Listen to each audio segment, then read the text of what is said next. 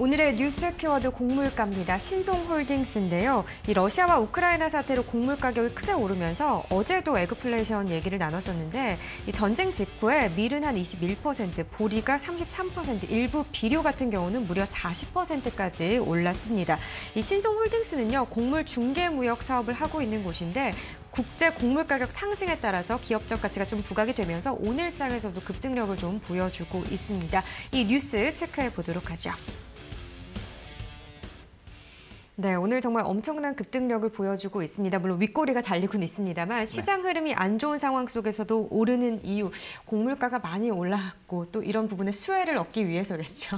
그렇죠. 아무래도 이제 곡물 가격 자체가 유지가 되고 있는 상황이고 사실 이제 우크라이나 지금 파종 시기가 네. 지금 시즌인데 사실 아직 이 장기화가 되고 있다 보니까 어, 지금 상황에서 사실 뭐 뭐를 심거나 그러기가 어렵지 않나라고 보고 있고요. 그리고 이제 만약에 당장 이 협의가 되더라도 예. 이 과거의 지역에 비해서는 거의 절반 정도 수준밖에 어, 활용이 안 된다라는 전망이 나오고 있습니다. 아무래도 우크라이나 같은 경우는 곡창지대 중에 하나이고 어, 굉장히 좀 수출 부분에서 많은 영향력을 끼칠 수 있는 국가이다 보니까 이 파종 시기를 놓쳤다라는 거는 결국에는 공급이 상당 부분 제한이 될 수밖에 없는 부분들이고 관련된 흐름들이 결국엔 또 수확기에 또 부각이 될 수밖에 없습니다. 게다가 뭐 밀 특히나 밀 같은 경우는 이제 미국 쪽을 좀 관심을 어, 가져보면 되지 않냐라고 하시겠지만 그쪽 지역은 또 가뭄이 작년부터 굉장히 좀 크게 예. 있어서 밀 생산량이 많이 감소가 됐고 아 그럼 뭐 중국도 있지 않느냐 라고 생각을 하실 수 있겠지만 거긴 또 홍수가 어, 많이 나서 밀 생산량이 많이 감소가 됐습니다. 그리고 어, 주요 또 이제 이런 수출국들이 지금 빗장을 걸어 잠그고 있습니다. 아무래도 공급에 대한 부족 우려가 나타나게 된다면은 어, 뭐 자연스럽게 자국민을 먼저 생각을 할 수밖에 없기 때문에 그러한 지금 어, 부담감들이 굉장히 좀 커지고 있다라고 보시면 좋을 것 같고요.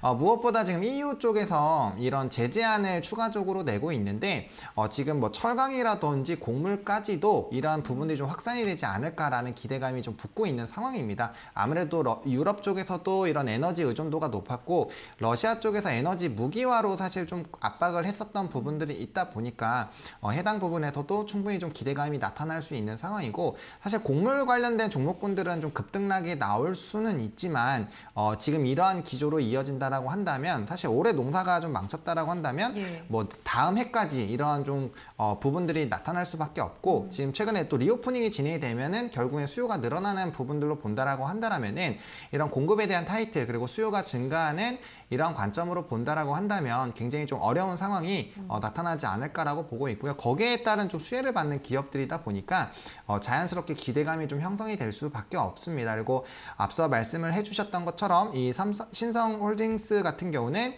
이런 이제 뭐 대기업이라든지 어떠한 이제 국가에서 이 특정하게 이런 물량을 일정 부분은 좀 안정적으로 어, 수급처가 있다라고 좀 알려져 있기 때문에 예. 이러한 관점으로 본다라면은 아무래도 곡물가가 높아지거나 그 공급에 대한 이런 부분들이 있더라도 어, 충분히 안정적으로 좀 수급이 된다라는 관점으로 본다라면은 어, 수혜를 계속적으로 좀 나타날 수 있지 않을까라고 보고 있고 아무래도 가격 자체가 높아지고 이러한 부분들을 본다라면은 뭐 실적적인 부분에서도 좀 기대감이 붙어주지 않을까라고 보고 있습니다. 그래서 이런 곡물 섹터에서도 사실 가장 어, 먼저 움직이는 종목 중에 하나다라고 보시면 좋을 것 같고요. 일단은 이런 곡물에 대한 우려는 결국엔 원자재들의 또 다른 상승으로 이어지게 되고 또 원자재가 또 상승하게 되면 다른 뭐 기타 원자재들이 예. 상승을 하게 되면 다시 한번 또 곡물 쪽에 대한 관심이 부각이 될 수밖에 없습니다. 왜냐하면 다른 원자재 같은 경우는 이런 리스크가 해소가 된다라고 한다면 빠르게 정상화가 될 수 있지만 앞서 말씀드린 것처럼 곡물 같은 경우는 우리가 뭐 저장을 계속 해놓는 거는 아니기 때문에 그러한 관점에서 본다면 조금 더 특수성을 가질 수밖에 없다. 그래서 그러한 관점으로 본다라면은 어, 충분히 좀 수급적이라든지 아니면은 어, 이벤트가 더 될 수 있는 가능성이 크기 때문에 곡물은 조금은 다르게 보셔야 되지 않나라고 생각을 하고 있습니다. 네, 안정적인 수급처에서 받아올 수 있다. 이 부분이 또 포인트가 될 수 있을 것 같은데 해외 정부 소유 공사로부터 안정적인 가격의 곡물을 좀 공급받아서 판매할 수 있다는 점이 수혜주로 좀 부각이 되고 있는 것 같습니다. 우리 정부의 쌀 의무 수입도 대행업을 또 하고 있다고 하네요. 신송홀딩스가. 네. 오늘장 뭐 신송홀딩스도 20%대고요. 샘표도 오늘장에서 급등력을 좀 보여주고 있는데요. 관련해서 좀 지켜 지켜보시면 될 것 같습니다. 52주 신고가를 기록을 하기도 했습니다.